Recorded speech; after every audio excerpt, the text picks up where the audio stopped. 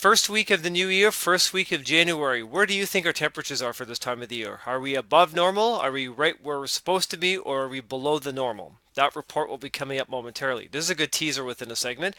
Welcome back to Timmins Weather Watch. Took two days off. So did Mother Nature. She shut off the snow for a bit, even though a few snowflakes did fall yesterday.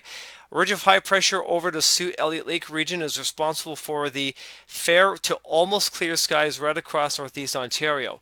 Clockwise flow around the high means that cooler air was being pulled down from the great Arctic north, keeping our temperatures a little chilly.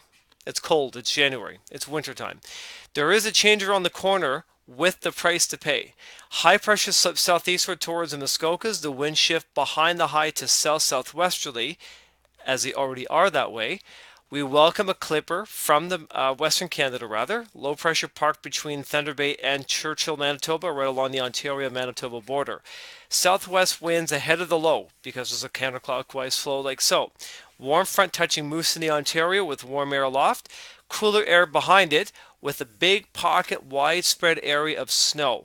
A couple centimeters possible for overnight tonight going into parts of Monday as well. So if you like the cold weather, like the sunshine, great. If you like the mild temperatures, that's fantastic. But with the price to pay, some snowfall. We're going to watch the snow trek eastward towards northeast Ontario and follow up on any centimeters that we're expecting. Nothing too dramatic, but I think that there's something coming up for Tuesday or Wednesday where we're looking at 10 plus centimeters. But we'll wait till then. For now, thanks for tuning in. Welcome back. Hopefully, your weekend was phenomenal and our our temperature is phenomenal. Stay tuned for that report.